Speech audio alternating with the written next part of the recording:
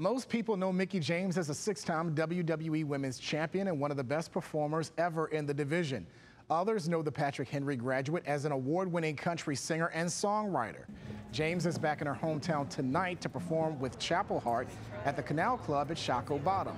She has juggled between being in the wrestling business while performing music for over 10 years and has released three albums, the last of which shows her growth as a singer and songwriter even the direction of that as much. I loved that album, but it was more rocked up, and I felt like I was really starting to find my groove and uh, getting stronger as a songwriter. And three or four of my songs made the album, but still the, the rest of it was from other publishing houses and stuff. So this one coming and the last few singles that I've been putting out are all my own stuff, which is really cool to kind of be in that space to go like I'm really proud of what I'm doing now, you know, and putting out now. So that's exciting.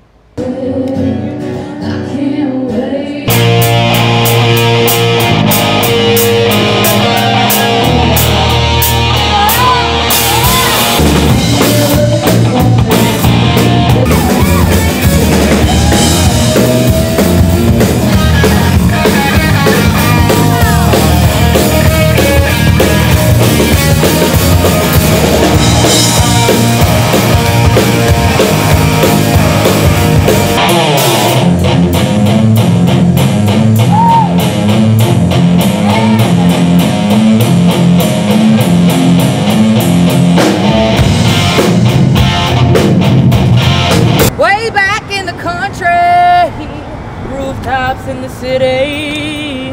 Mountain that we show the world. Show Way more than just pretty. I can cry when I want to, fight when I need to, love you like crazy. That's what grown ass women do. I'm a grown ass woman. Throw me hell,